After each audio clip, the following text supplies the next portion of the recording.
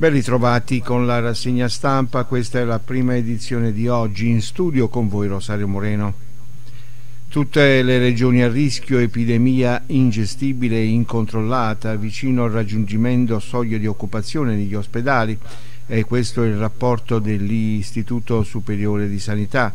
Nel consueto rapporto appunto dell'Istituto insieme al Ministero della Salute si legge di una situazione che rischia di finire fuori controllo in diverse aree del Paese con le strutture sanitarie già sotto pressione. La maggior parte del territorio nazionale, lo spiegano, è compatibile con uno scenario 3, ma sono in aumento le regioni e le province autonome in cui la velocità di trasmissione è già da scenario 4.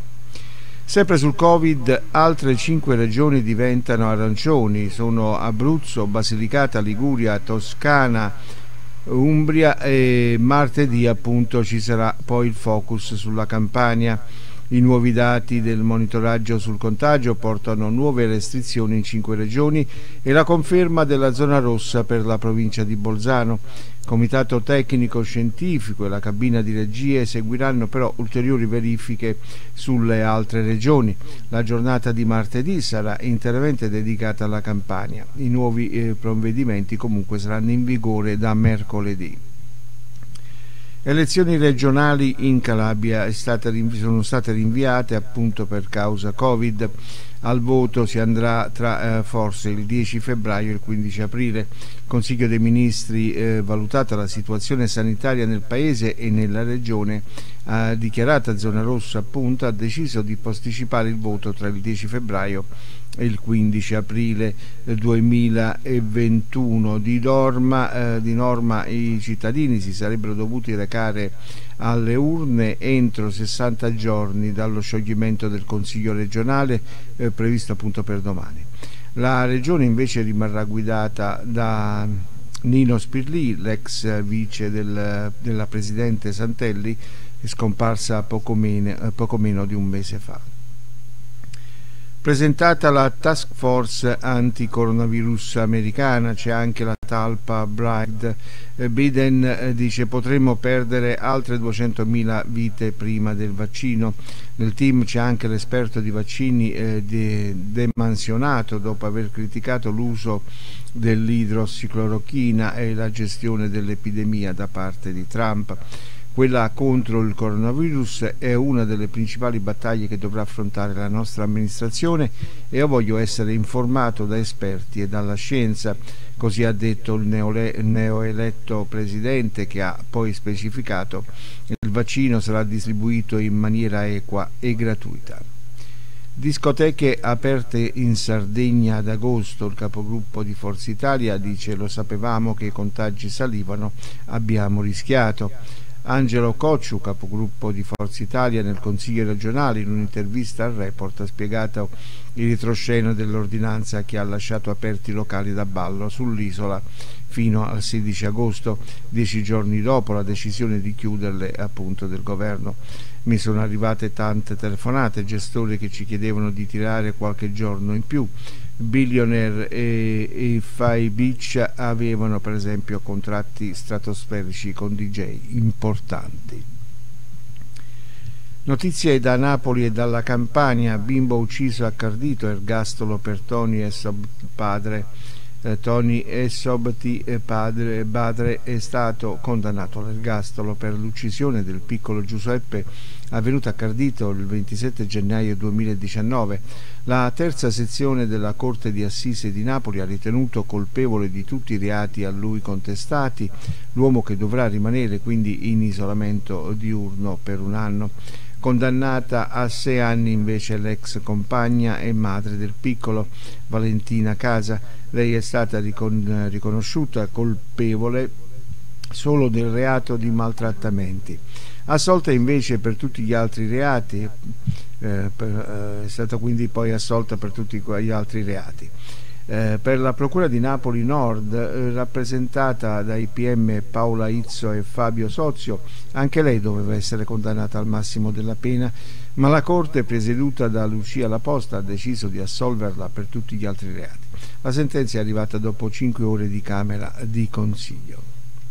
De Magistris dalla D'Urso dice serve la zona rossa, se vogliamo evitare la pressione sugli ospedali bisogna interrompere il contagio e per interrompere il contagio purtroppo bisogna fare la zona rossa. Lo ha detto il sindaco di Napoli Luigi De, Magistra, De Magistris intervenuto a pomeriggio 5. Secondo De Magistris per evitare che eh, ci sia sempre più una pressione sugli ospedali, non solo ci vorrebbe un'organizzazione sanitaria diversa dal punto di vista politico che non, che non è mai stata fatta in questi mesi, ma bisogna interrompere il contagio e per interrompere il contagio serve la zona rossa purtroppo eh, dico purtroppo dice Del Magistris perché sono il primo a considerarla una sconfitta da parte di chi non è riuscito a prevenire eh, tutto questo Gira in auto nonostante sia positiva al coronavirus, è stata fermata dalla polizia in tangenziale. Ieri sera gli agenti della sottosezione Polizia Stradale di Fuorigrotta alla, alle dipendenze della sezione Polizia Stradale di Napoli hanno intercettato in prossimità del, di Caselli di Fuorigrotta un'auto con a bordo la sole conducente, pertanto dopo il pagamento del pedaggio l'hanno fermata per sottoporla a un controllo finalizzato ad accertare il motivo del suo spostamento. Notizie dal Friuli Venezia Giulia. L'onda d'urto Covid non è sostenibile, il sistema rischia il collasso. Appello di anestesisti e rianimatori alla regione. La situazione è grave, dicono servono scelte anche impopolari. Anche in Friuli Venezia Giulia l'emergenza sta presentando il conto alle strutture sanitarie con code al pronto soccorso e riorganizzazione delle parti, a discapito delle altre patologie ma soprattutto al personale. Per questo l'Associazione Anestesisti Rianimatori Ospedalieri Italiani del Friuli Venezia Giulia ha scritto una lettera al presidente Massimiliano Federiga e al suo vice Riccardo Riccardi per esprimere la sua preoccupazione appunto per la situazione. Si spegne una goriziana di 44 anni, il dolore della città, il sindaco Ziberna si unisce al dolore della famiglia e dice stiamo vivendo forse il momento più critico della pandemia. Questo pomeriggio ci è stato comunicato che una giovane donna goriziana è morta all'ospedale di Trieste. Era ricoverata da pochi giorni dopo essere passata dal pronto soccorso. Eh, questo l'ha scritto il sindaco di Gorizia, Rodolfo Ziberna è stata accertata la sua eh, positività a Covid-19. Aveva 44 anni e una vita ancora tutta da vivere.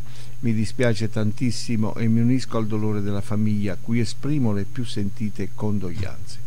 Non so se il Covid-19 sia stato determinante oppure no, la morte è sempre comunque difficile da accettare e se ad andarsene una persona giovane ancora di più. Il comune di Casarsa mette a disposizione l'ex sala consiliare per i tamponi. La sindaca Clarotto dice non essendoci mostre in questo periodo la concediamo, la concediamo volentieri visto che logisticamente è molto comodo per i nostri medici e per i, loro pazienti. L'amministrazione comunale di Casarsa della Delizia ha messo a disposizione dell'azienda sanitaria del Friuli occidentale la sala consiliare dell'ex municipio in piazza 4 novembre per i tamponi che saranno effettuati dai medici di medicina generale della cittadina. L'ex sala consiliare, spiega la sindaca Lavinia Clarotto, risultata peraltro positiva al Covid, è ora uno spazio espositivo, ma non essendosi mostre in questo periodo la concediamo volentieri, visto che logisticamente è molto comoda per i nostri medici e per i loro pazienti. Collaboriamo con convinzione insieme alle autorità sanitarie per le quali siamo a disposizione con iniziative concrete come questa della ex sala consiliare. Così ha concluso la Clarotto.